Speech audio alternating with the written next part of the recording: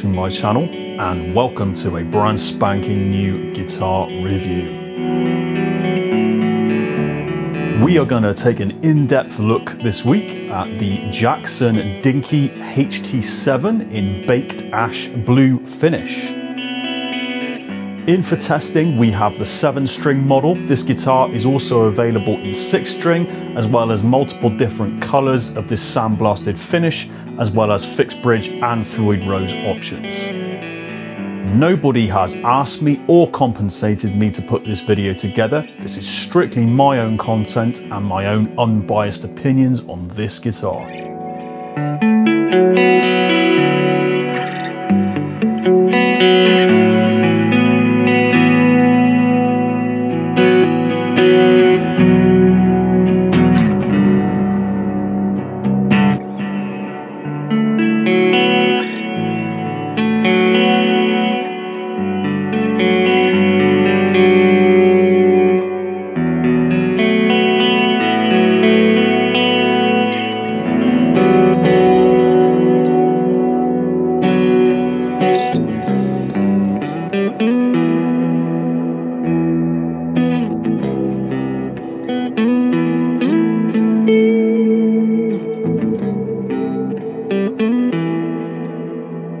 So this is one of Jackson's newest models, and this is squarely aimed at, I would say, the modern guitarist. Jackson as a brand goes all the way back. They've been around a hell of a long time, and they have a reputation for producing kind of mostly rock and metal focused instruments. Jackson have more recently been acquired by Fender, uh, which doesn't seem to have done them any harm whatsoever. Their output has still been really good. Um, just looking at their 2022 range, there's a huge number of models, loads of different crazy colors, as well as your standard stuff. So they currently, as a brand, seem to be thriving. Now, this particular guitar represents kind of the upper price range of what Jackson offers. So the retail price of this guitar is just over a thousand pounds in the UK, kind of 1100 quid roundabout there. Um, you may be able to get it slightly less if it's on sale.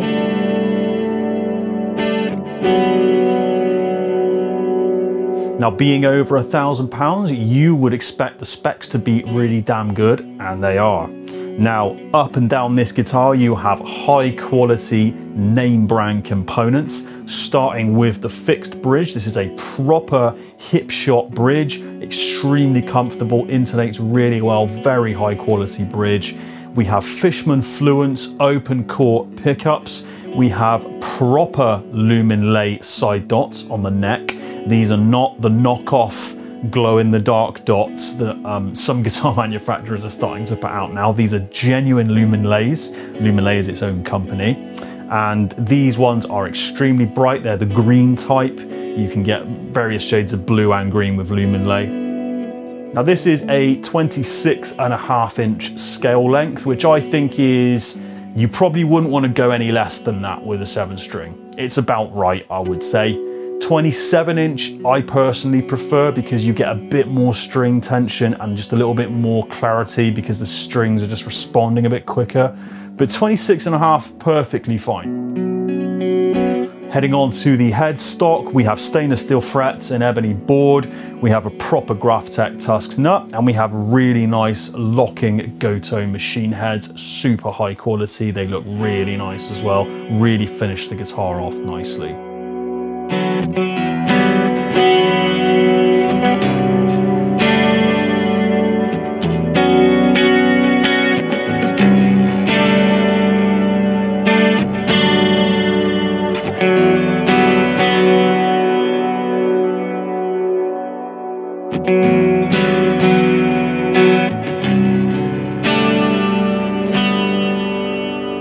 Now, look at that finish, I hear you cry. Or at least that was the response I got when I posted some pictures up of this guitar on my socials. This is a look that has um, only come around in the last few years. Now, this is known as the sandblasted effect. So you have deep open pores and ridges of wood on the guitar's body that have been filled in with colored paint. Now, I think it was Mayones who first perfected this look. Mayones was certainly the first um, guitars that I saw with this particular effect on the finish. Um, and every manufacturer now seems to be jumping on the bandwagon, right down to Cort with their ultra affordable KX300. Check out the review of that guitar on this channel. It was just unbelievably good for the money. Now, the finish on this guitar, now that I've sampled a, a couple of sandblasted ones, I have to say this is done exceptionally well. Um, it feels ultra high quality. And it's important to point out that what you get by spending a little bit more money on this versus something like the Cort KX300 is the sandblasted effect goes all the way around to the back of the guitar. Now on more budget guitars I've seen with this particular effect, uh, the sandblasted finish is strictly limited to the top of the guitar. Now this entire body is sandblasted, even the headstock is done to match as well. And I have to say, I really like what Jackson are doing at the moment with their headstock logos. Now, a lot of manufacturers out there, um, they kind of sometimes put stickers or just really like wank looking like low quality kind of uh, branding on the headstock. Now this has a really cool 3D effect headstock to it that looks super nice um, and really premium. So um, if you look at Jackson's range this year, they are starting to move towards doing that across all of their kind of mid to upper range guitars. I think it's such a nice little finishing touch.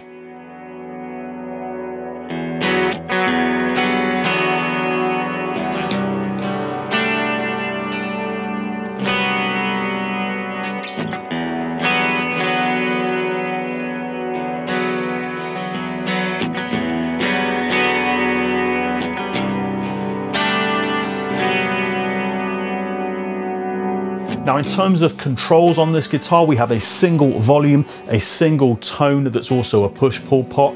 We have a five-way selector, so we have a choice of two different voices on each pickup, and we also have the option of coil splits on each pickup.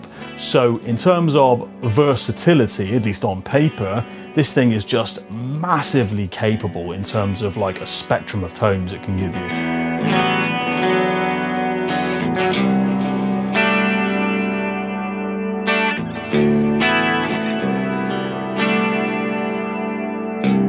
So then, I absolutely love the way this thing looks. I think it looks extremely smart. I think it looks extremely expensive. Now, how does it sound?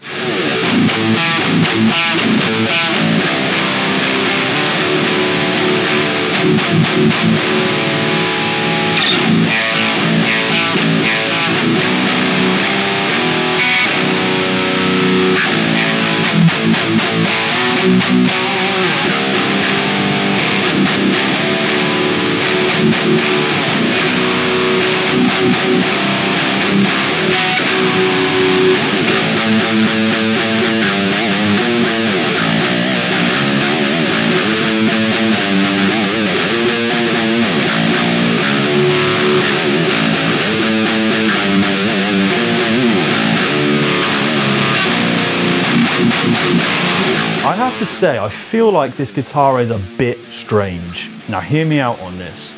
Now Jackson, as I said, have a reputation for producing mostly rock and metal focused instruments. So when I ordered this guitar, I thought, ah, brilliant, I'm getting a, a full-blown seven-string chugging metal monster. But I have to say, due to some of the pickup and hardware choices on this guitar, I actually don't feel like I've gotten that. I've gotten something slightly different.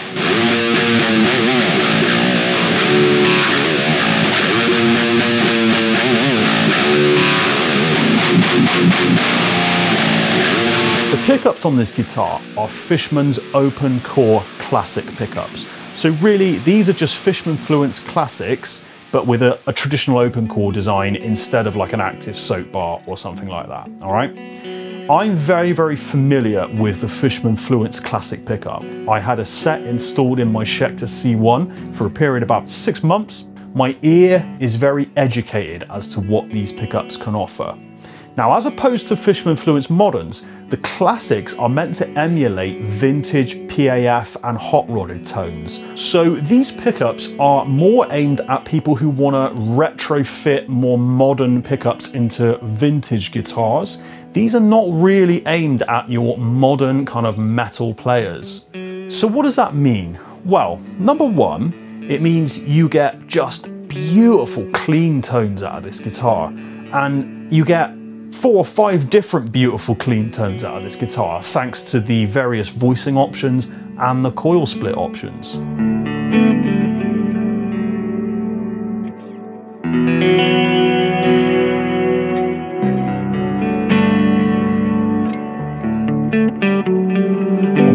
Pickup you have a vintage PAF sound with voice 1 and on voice 2 you have more of an overwound hot rodded style pickup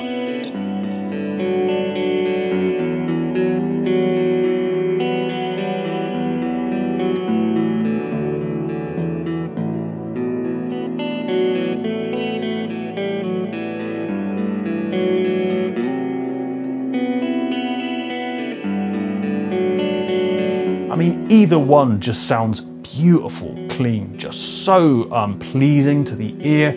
So I did find myself mostly playing clean tones with this guitar because when it comes to the bridge, I'm looking for something super high output. You really are looking for sort of clarity through compression with a seven string pickup if you're playing metal, in my opinion. Now, whilst these pickups are brilliant at what they do, they sound great as PAF or hot rodded tones, they wouldn't be my first choice for playing metal with. Now take a listen to this. Here's me playing a riff on the Jackson HT7. I'm using voice 2 on the bridge. Straight after, here is me playing that exact same riff using voice 2 on Fishman Fluence Moderns.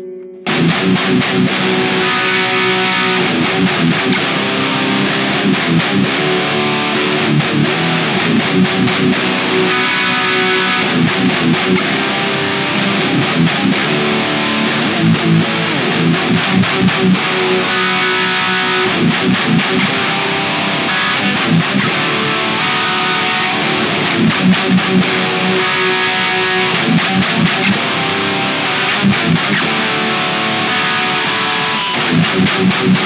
Now just listen to that little bit of extra compression and output. It's just bringing out those drop A notes just a little bit better. It's pushing the amplifier just a little bit harder.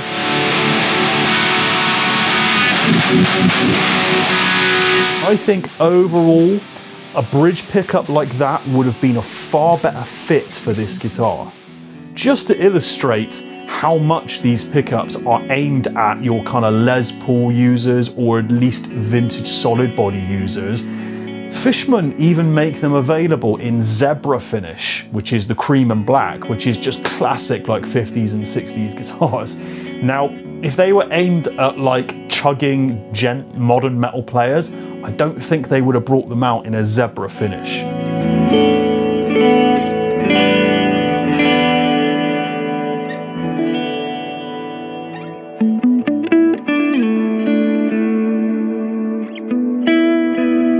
Something else that's a little bit of an oddity about this guitar that um, I can't really wrap my head around is this is Jackson's dinky body shape.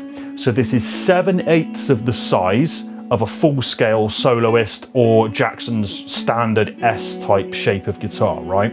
So the idea behind that is it's just smaller, slightly more comfortable, lighter, so it's less fatiguing for you to play stood up.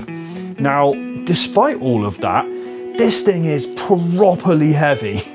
this is a bolt-on construction, which usually means it's lighter, but man, this is one of the heaviest seven strings I have played. I think the reason for this weight is the body is really thick. I mean, look at the chonk on that.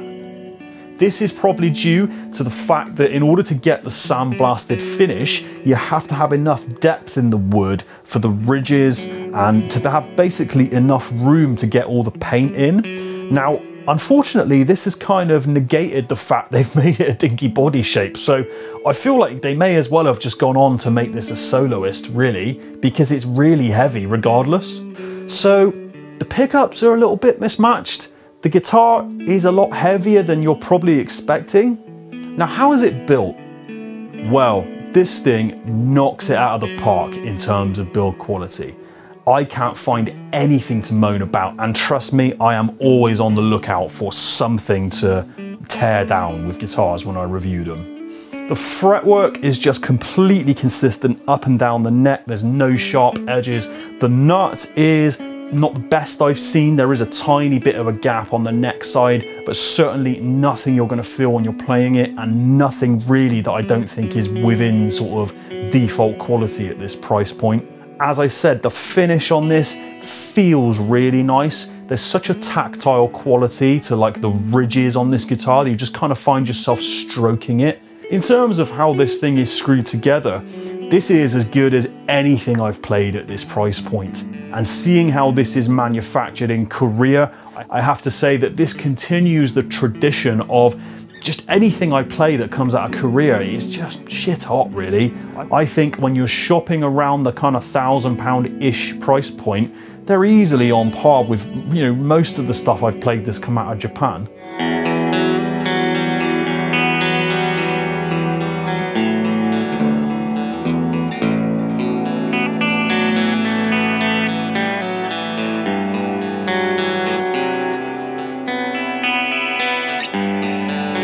Now whilst the build quality is exemplary and as good as I've seen at this price point, I do have a little bit of a moan to make.